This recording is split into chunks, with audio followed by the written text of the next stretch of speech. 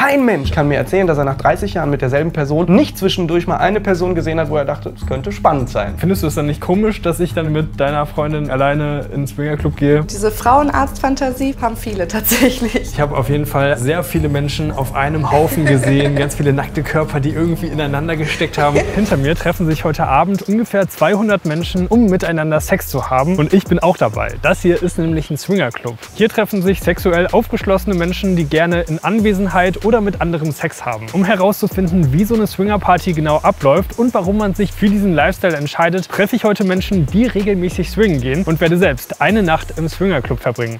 Ich bin sehr gespannt, was auf mich zukommt. So, hallo, ich bin der Felix. Schönen guten Tag, ich bin der Stefan, herzlich willkommen. Hallo Stefan, also du bist Swingerclub-Betreiber, kann man das sagen? Ich bin Eigentümer und Betreiber von dem Chateau Royal hier im schönen Schmelzteil in Bad Honnef. Und sag mal, was ist ein Swingerclub denn eigentlich genau? Naja, es wird unterschieden zwischen klassischem Swingerclub und Paarclub. Wir sind ein reiner Paarclub, das heißt, wir arbeiten nur mit Paaren. Swingerclub klassischerweise hat HÜ, Herrenüberschussveranstaltungen. Das heißt, da gibt es Einzelherren, die explizit allein unterwegs sind. Hier bei uns haben nur Zutritt Frau und Mann als Kombination. Worum geht es in einem Swingerclub? Die Menschen, die herkommen, die wollen natürlich Erotik erleben, Kopfkino, wollen äh, sich vergnügen. Es geht schon um Sex eigentlich. Naja, klar. Ich meine, wenn ich schwimmen gehe, will ich schwimmen gehen. Und wenn ich in den Club gehe, will ich natürlich auch sexuelle Aktivitäten erleben. Und das kannst du mir jetzt alles mal zeigen, also wie das hier genau abläuft. Ja, sehr gerne. Was für eine Veranstaltung ist das jetzt heute Abend? Ja, wir haben heute eine Veranstaltung speziell für junge Leute. Zielgruppe bis maximal 39. Und wieso bietest du so eine Veranstaltung an? Wir haben die breite Masse der Gesellschaft hier als Gäste. Wir haben eine U50-Party, wir haben eine Ü50-Party, wir haben aber auch eine junge äh, Generationenparty. Die jungen Leute haben tatsächlich, ich sag mal das Wort, nicht wirklich Interesse mit Älteren was zu machen. Deswegen sammeln die sich hier im jungen Alter. Und die jungen Veranstaltungen, ich sag, sag mal Zahlen zwischen 300, 400 Anmeldungen ist nicht untypisch. Das heißt, es sind große Menschenmassen, die hier vom jungen Alter her erscheinen, die das auch so wollen. Wie teuer ist so ein Eintritt hier? 75 Euro für den Donnerstag, 80 Euro für den Freitag und 105 Euro für den Samstag. Für ein Paar all inclusive. Hier kommen die Gäste an, hier wird einmal der Eintritt verrichtet und dann gehen wir weiter. Wir haben hier die Umkleideräume. Wir haben in der Summe 130 Spinde. Umkleide, also was heißt das genau? Die Gäste kommen in normalen Straßenbekleidung hier an und ziehen sich hier um. Und dann geht es um das Thema Dresscode. Grundsatzregel heißt, alles, womit ich einkaufen gehen kann, ist Straßenbekleidung ist hier nicht gewünscht. Wenn ich jetzt heute Abend bei der Party dabei bin, was sollte ich da vielleicht am besten anziehen? Ich würde dir empfehlen, ein schwarzes Shirt. Das ist natürlich das falsche Shirt jetzt. Das ist ein normales T-Shirt, was man so auf der Straße anziehen kann. Schwarze, eng anliegende Pants. Passt immer gut, du bist ein junger Typ. Und dann ein paar Sneakers unten drauf. Hier ist der Saunabereich. Hier ist die, die sagen wir so schön, Keramikabteilung. Wir gehen jetzt mal ins Erdgeschoss hoch. Wenn man dann jetzt hier ist, wo würde man dann als Gast äh, als nächstes hingehen? Die Gäste gehen als erstes in den Barbereich. Dort kommen sie erstmal an, Getränk nehmen erstmal und dann holen wir sie ab nach kurzer Zeit, 15 Minuten und führen sie einmal das Haus. Ich gehe mal vor in die Räumlichkeiten, dass man mal die Räumlichkeiten kennenlernt. Oh, wird auch wieder was dunkler hier.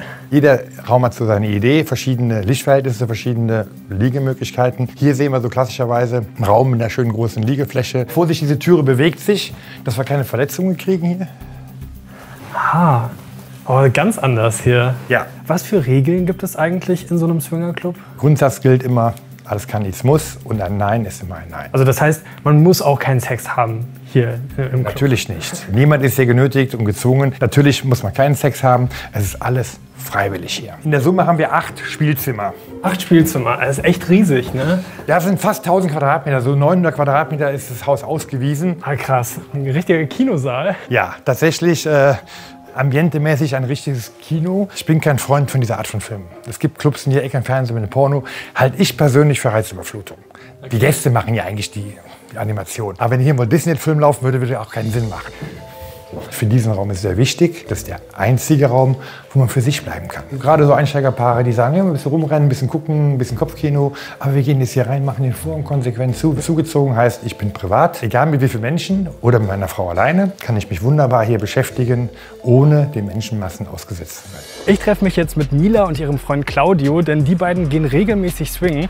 Und die Mila wird mich heute Abend auch bei meinem ersten Clubbesuch begleiten. Und ich frage mich, warum die das eigentlich machen und vor allem auch, wie sich das auf deren Beziehung auswirkt. Hi. Hallo. Sag mal, wie lange geht ihr jetzt schon in Swingerclubs? Also ich schon deutlich länger als Sie. Ja, bei mir sind es jetzt bald fünf Jahre. Okay, und Ich bin bei seit dir? 2016 aktiv in Clubs unterwegs. Wie seid ihr dazu gekommen? Also für mich war es immer sowieso äh, irgendwie, also ganze Eifersucht-Themen und so haben mich immer gestört und auch in der Beziehung habe ich dann immer gemerkt, dass das tatsächlich so ein Punkt ist. Und nach meiner Ex habe ich dann, als ich sie kennengelernt habe, direkt zu ihr gesagt, dieser pass auf, für mich ist das irgendwie naiv zu glauben, dass in dem Moment, wo du in einer Beziehung bist, alle anderen unattraktiv sind und wenn du mit mir diese Welt entdecken willst, ist es cool, wenn nicht, dann wird das schwierig zwischen uns. Und sie fand es interessant, Ja. weil sie auch so denkt und dementsprechend sind wir jetzt da unterwegs. Wollen wir uns hinsetzen? ins Ja, sehr gerne. Wie oft besucht ihr dann tatsächlich solche Swingerclubs? Also wir waren teilweise dreimal die Woche. Wie ist das dann? Führt ihr dann eine offene Beziehung? Es ist schon eine Art von offener Beziehung, weil wir ja nun mal auch andere Sexualpartner haben. Nur bei einer offenen Beziehung wird irgendwie reininterpretiert, dass jeder so sein eigenes Ding macht und das ist bei uns halt nicht der Fall. Es kann schon mal sein, dass jemand alleine auf ein Date geht, aber der andere wird immer mit einbezogen. Also es ist von Anfang an klar, dass jeder jeden kennenlernt und es definitiv auch bei jedem Date sein könnte, was ich zum Beispiel habe, dass er da dabei ist. Da muss man mit rechnen. So, das ist halt immer so, wir sind ein Team. Wie ist das dann mit dem Thema Eifersucht? Ich habe Eifersucht irgendwann mal in Freude für sie umgetauscht einfach. Und wenn da so ein kleines Gefühl von Eifersucht ist, dann ist das aber mit, also zumindest bei mir ist das so, das reizt noch mal zusätzlich. Ich interpretiere Eifersucht nicht mehr als solche, sondern als Reiz. Und am Anfang war das schon, dass ich eifersüchtig war. Es lag aber größtenteils an mir.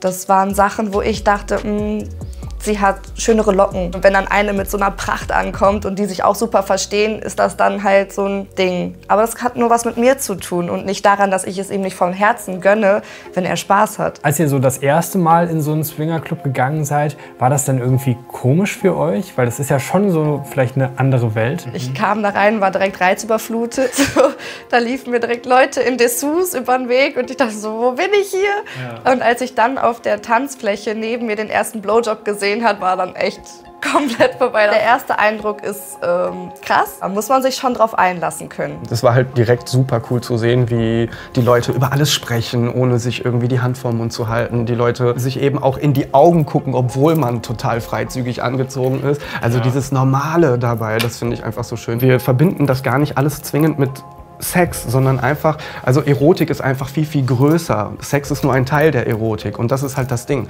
In Swingerclubs geht es uns eher um die Erotik und nicht um den reinen Sex. Und wenn, vielleicht lernt man ja jemanden kennen, mit dem man sich dann noch trifft oder so. Oder vielleicht läuft auch direkt da was. Aber wir stellen uns gar nicht groß auf sowas ein. Wir gehen einfach hin, weil wir wissen, die Atmosphäre ist geil und was passiert, passiert. Okay, nächster Raum. Wir sehen ein Gitterzimmer, so ein bisschen Prison-Style. Wie ist das denn hier eigentlich mit dem Thema so Sicherheit auch der Gäste? Also gerade auch in Bezug so auf Belästigung. Es hat natürlich auch was mit dem Konzept zu tun. Äh, Wenn ich mit meinem Partner ausgehe, dann äh, habe ich ja nicht vor, Stress zu machen. Beim HÜ-Geschäft ist es was anderes. Das sind natürlich die Herren, die viel Eintritt bezahlen und natürlich auch ein Erlebnis haben wollen. Und die natürlich auch meinen, dass die Dame auch schon mal mehr Männer kann. Hier ist das Thema natürlich, es sind nur Paare. Ich habe hier in all den Jahren nicht einmal eine Schlägerei gehabt oder irgendwie äh, lautstarke Diskussionen. Es ist, die, die Partyveranstaltungen laufen alle sehr harmonisiert ab. Letzter Raum, auch ein sehr spannender Raum.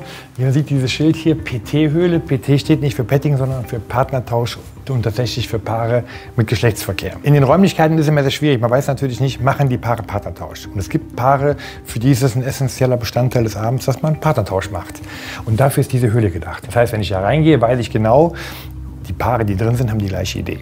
Die würden tauschen wollen, wenn es chemisch-biologisch passt. Wir können mal vorsichtig reingehen, das ist etwas dunkler. Man krabbelt also hier unten rein sozusagen. Man kann hier rumgehen. Hier gibt es jetzt so Löcher, da kann man durchgucken. Was natürlich spannend in diesem Bereich ist, das ist natürlich so ein Secure-Bereich, wo, man, wo die Gäste sich für sich aufhalten. Es gibt Gästepaare, die mir erzählen, hier ist die meiste Traffic in diesem kleinen Schlauch. Weil alle zuschauen wollen, oder? Ja, nicht nur das. Hier geht natürlich auch die Fummelei los. Man animiert sich mit dem, was da drin passiert. Ja, aber hier geht es natürlich durch, um durchzugreifen, äh, auch natürlich durchzuschauen oder sein Geschlechtsteil auch durchzustecken. Aber wie ist das so grundsätzlich mit dem Thema Geschlechtskrankheiten, gerade jetzt hier, wenn man hier irgendwie den Partner tauscht? Das ist natürlich ein Thema. Man weiß, dass es Gefahren gibt. Das Thema Ja. Atlantik schwimmen, dass man ertrinken kann, weiß man. Und trotzdem natürlich biete ich Kondome an. Aber ein Grundsatzrisiko bleibt natürlich, muss man einfach so sehen. Das ist ein Lebensrisiko in dieser Branche, die man auch dann äh, in Kauf nehmen muss. Partnerschaftlich macht es schon Sinn, wenn man sich schützt. Wenn man dann wirklich tauscht. Aber ich habe nochmal, viele tauschen ja gar nicht wirklich. Viele nehmen das ganze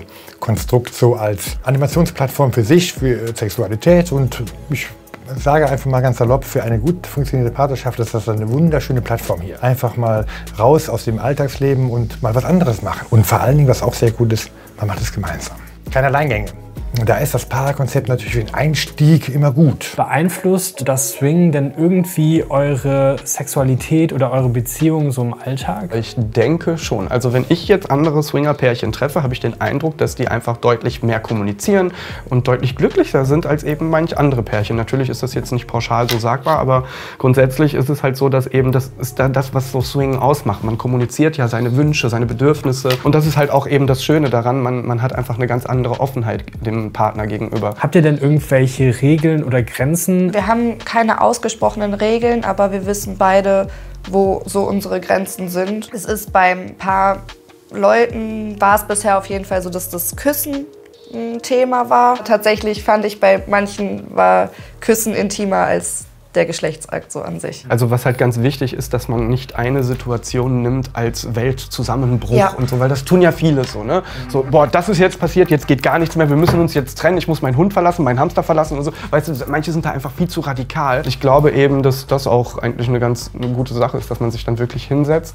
und sagt so, okay, es ist nun mal jetzt passiert, aber wir sollten jetzt eben drüber reden, ob was daran nicht okay war und was wir eben beim nächsten Mal anders machen und nicht eben gleich immer eine Welt untergehen lassen. Möchtet ihr denn für immer swingen oder denkt ihr, das ist nur so eine Phase? Du bist jetzt 20, 30 Jahre mit deinem Partner zusammen. Und ähm, natürlich kehrt da irgendwann mal so ein bisschen Routine ein. Und kein Mensch auf dieser Welt kann mir erzählen, dass er nach 30 Jahren mit derselben Person nicht zwischendurch mal eine Person gesehen hat, wo er dachte, hm, das könnte spannend sein.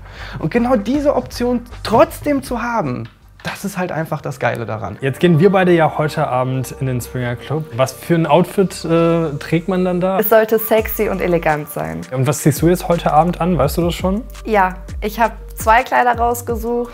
Also das werden schon mal meine Schuhe sein. Dann habe ich mir einmal das rausgesucht. Auch schon so ein bisschen äh, durchsichtig, oder? Ja, das ist schon ein bisschen durchsichtig. Und ich habe quasi das Kleid dann noch mal in undurchsichtig, so in etwa. Ich habe halt einfach ein schwarzes Hemd und auch so eine schwarze, so ein bisschen, es geht in so eine Anzugshosenrichtung. Alles cool, passt. Ja, ja. kann man ja. das tragen? Ja. Dann können wir uns eigentlich langsam schon auf den Weg machen. Zu einem erfüllten Sexleben gehört zwar nicht bei allen der Swingerclub-Besuch, aber bei den meisten schon die Selbstbefriedigung. Dabei unterstützen kann euch Lelo, der Sponsor des heutigen Videos. Lelo macht nämlich super hochwertige Sextoys für Frauen und Männer, zum Beispiel den Lelo.Cruise, ein Klitoris-Vibrator, den man alleine mit dem Partner oder theoretisch auch im Swingerclub verwenden kann. Im Gegensatz zu anderen Vibratoren, die oft nur im Ganzen vibrieren, stimuliert der Lelo Dot mit seiner Infinite Loop Technologie gezielt einen bestimmten Punkt, ohne dass sich die Bewegung zu monoton anfühlt. Aber ihr könnt natürlich auch sämtliche andere erogene Zonen mit der Spitze des Geräts stimulieren. Der Lelo Dot Cruise verfügt über acht verschieden einstellbare Modi, die ihr ganz nach euren Wünschen auswählen könnt. Außerdem ist er energiesparsam, wasserdicht und lässt sich einfach per USB aufladen. Den Link zum Lelo Dot Cruise findet ihr in der Videobeschreibung und mit dem Code TOMATO bekommt ihr da nochmal 25% Rabatt. Bei Lelo findet ihr darüber hinaus auch noch eine große Auswahl an weiteren innovativen Sextoys mit hochwertigem Design. Also schenkt euch selbst oder eurer Freundin einen Lelo Cruise und bringt ein bisschen Abwechslung in euer Liebesleben. So, da sind wir beim Chateau Royal. Also wir sind jetzt schon ein bisschen früher da und ziehen uns einfach schon mal um. Dann schauen wir mal. Nehmen wir die Umkleide. So, umgezogen. Was würdest du sagen? Kann man so Swingerclub? Ja, auf jeden Fall. Dann schauen wir mal, was der Abend so bringt, würde ich sagen. So, dann Prost. Prost auf einen schönen Abend. Wie läuft das dann nachher genau ab? Wie kommt man dann so mit den Leuten in Kontakt? Es ist unterschiedlich. Beim Essen geht das meistens so von sich. Wenn man beim Essen sitzt, dann quatscht man. So im Barbereich ist das ganz oft so, dass es über Augenkontakt funktioniert. Also umso länger man Augenkontakt hält, umso eher signalisiert man, dass man Interesse zeigt. Und dann kommen die Leute schon von sich aus an. Hast du denn schon mal irgendwie negative Erfahrungen in einem Swingerclub gemacht? Mir wurde einmal auf den Arsch geklatscht. Ich und mein Partner haben dann direkt mit ihm darüber geredet. Und das waren auch so, oh ja, sorry, war irgendwie so aus dem Affekt und war auch alles cool. Was ich mich auch gefragt habe, wann geht es denn da eigentlich so los? Also wann geht es zur Sache? Also am Anfang hat man schon das Gefühl, die Leute brauchen so eine kleine Eingewöhnungsphase, aber die dauert wirklich nicht lang. Also das geht bei manchen richtig schnell. Das äh, fängt dann vielleicht sogar schon auf der Tanzfläche an und okay. geht gar nicht erst in die Räumlichkeiten. Ist das so vergleichbar mit Clubs, in denen du schon warst? Ja, auf jeden Fall. Also der Raum jetzt vor allem Ist halt perfekt, wenn man vielleicht so ein bisschen allein sein möchte, anderen aber noch zugucken möchte und so. Wie ist das bei euch? Also findet ihr das dann auch gut, wenn euch andere zuschauen? Also ich finde es ziemlich cool zuzuschauen. Und wenn mir jemand zuschaut, ist es mir eigentlich egal. Also ich habe jetzt persönlich nicht so viel davon, aber es stört mich jetzt auch nicht. Aber du, du selber schaust gerne irgendwie. Ich schaue gern zu, ja. Was gibt dir das? Ideen unter anderem. Und manchmal ist es auch schön, es ist ästhetisch. Kommt natürlich auch immer drauf an, aber ja, an sich mag ich es gerne, diese, das Gesamtbild zu sehen, vor allem direkt und nicht auf einem Bildschirm. Ja, der Stuhl darf ja auch nie fehlen. Den, den gibt es, glaube ich, wirklich in jedem Swingerclub. Hä? Und, also warum? Frauenarzt. Okay. So diese Frauenarzt-Fantasie von manchen Frauen haben viele tatsächlich. Und die Beine sind ja dann hier Ja. und du kannst ja nicht wirklich viel machen. So. Und das ist halt alles offen und dann halt einfach Rumgespiele.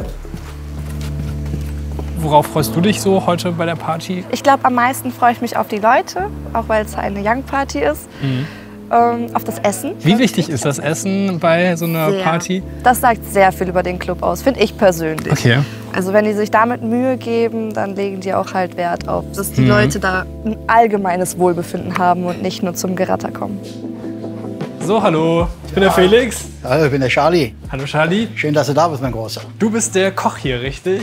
Der Chefkoch. Was gibt's denn heute Abend Schönes? Als Vorspeise haben wir heute eine Fischplatte. Salate ist natürlich klar, Tomate, Mozzarella. Da hinten haben wir die Käseplatte stehen. Wir haben hier so eine, so eine Spargelplatte stehen, äh, wo die Mädels oder Jungs sich bedienen können. An den Warmteilen haben wir hier vorne heute eine Lasagne, selbst kreierte Hacksteaks, Grillgemüse. Was würdest du denn sagen, wie wichtig ist das Essen in einem Swingerclub? Man sagt ja nicht umsonst, die Liebe geht durch den Magen. Beim Essen lernt man andere Menschen kennen. Das heißt, die Leute fühlen sich unheimlich wohl an diesem Speisesaal. Wir haben auch draußen noch äh, Plätze, wo man sich hinsetzen kann. So lernen die Menschen sich hier kennen.